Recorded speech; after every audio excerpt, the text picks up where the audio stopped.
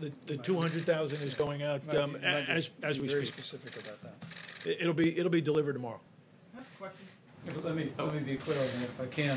What, what uh, Jared announced, what the Admiral just unpacked, is that pallets are being loaded right now to send two hundred thousand N ninety-five respirators. masks to New York City, to the public health hospitals. To, So to the public health warehouse in New York City. all the healthcare workers, help is on the way.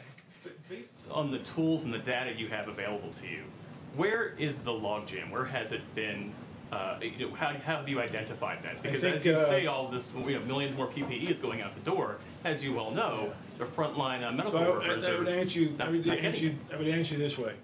We put up a lot of numbers. I said that if you're not a, you're in a hospital and you're not seeing PPE, I would look up to the state level first. Some governors we sort of aren't saying they can't get the medical equipment that they need. And the reason for have that is because according to governors, and also uh, by the fact that we haven't seen any numbers up there about what is going to the private sector, can you tell us what percentage of the supplies on these large cargo planes are going to private companies versus FEMA versus the So- states? so FEMA's, Is uh, eighty percent? Um, so- So, uh, this product that we're moving is primarily, uh, commercial product that would enter the commercial system and be distributed through, uh, financial business transactions between hospitals and these distributors.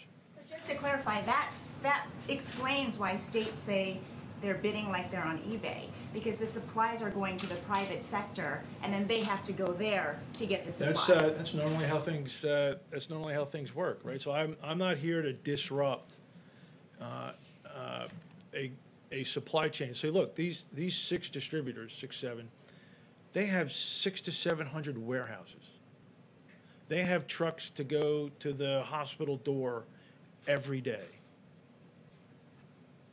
We're bringing product in, they're filling orders for hospitals, nursing homes, like normal. I'm putting volume into that system. I would say that, that we're, we have the data now, the last, so we put together this, uh, data element over the last, you know, what, thirteen days? Get the people in, look at the problem, build this. I am now seeing truth about what's in the supply chain, and I would say that, um, there's been some abnormal behavior. Okay? Yes, the- uh, thank you, Admiral. Um, House Oversight Committee Democrats say that FEMA officials told them that the ventilators that the government